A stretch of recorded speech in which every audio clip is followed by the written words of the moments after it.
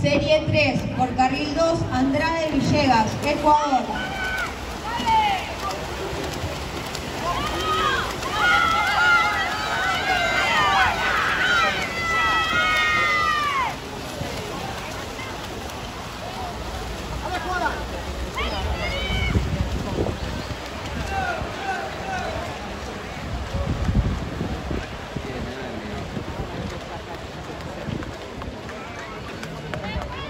¡Vamos, vale!